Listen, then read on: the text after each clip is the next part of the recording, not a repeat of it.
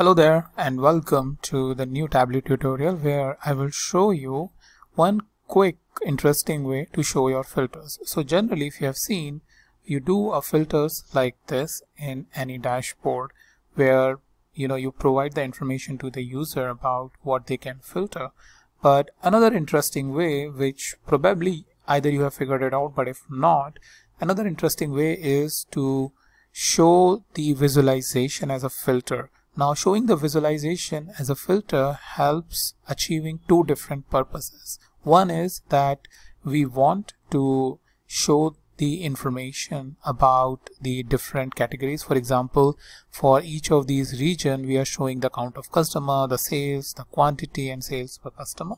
But in not only we are showing the information, but if I click on this, it only it also filters the information about what we are showing as a visualization over here. So this basically then do a dual purpose about uh, what we basically want to achieve from this visualization. So not only showing the information what you know it should show it also filters the information. Now uh, you have couple of ways by which you can do this. One of the very quick way is uh, using this option which is sort of a filter like an option. You can enable this. Since I have enabled this it is showing me don't use it as a filter. So if I just click on that it will not use it as a filter. But if I enable this it will use this as a filter which will update the rest of the visualization.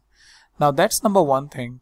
Number two thing is uh, uh, this is like by selecting it but over here you have the visualization where you know a different customer's information is given by the sales and the profit. Now if you want to look at each or a single customer over here and want to see its ranking. So what you can do is just highlight over here and it says Darren Martin over here and what's its ranking over here.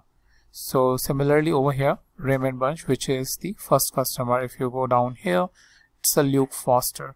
So you see the not only this particular chart where you select the information by clicking it. You can just hover over your mouse and you know make the chart interactive. So how do you do that? Well for that you need to go into the dashboard and into the action. And over here we have the highlight action. So if we just select on this and click edit so what it says is basically you have two charts customer rank which is this and customer scatter which is this. And then based on that you update the customer rank and customer scatter chart. And it's very straightforward as you can see. You want two sheets to be uh, to be interacted with each other. You have selected both on the source sheet and the target sheet. And based on this like how you want to run the action hover select or menu you can basically select it. So for example if I if we do hover and click OK and OK it will start selecting the information. So this way you can generate the action. And over here the selection is happening from the actions again if you see filter 2 and if we go into the edit so the customer overview is what is selected as a show source sheet. So this is the source sheet and uh, target is basically all the three sheets.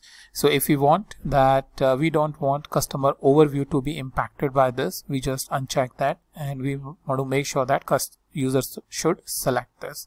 So we'll click ok and ok. So now if we select this you see this information is updated over here but nothing no impact that it has it is doing on the chart. So similarly if I select over here this basically gets impacted. So like I mentioned you have two options. Either you can go it over here but if you want further drill down and want to refine it further then you can go into the dashboard action and add a new action based on you want filter highlight and couple of other options that I will collect uh, select in the future so that's about how you can uh, utilize the visual filters and the filter actions within the Tableau dashboard.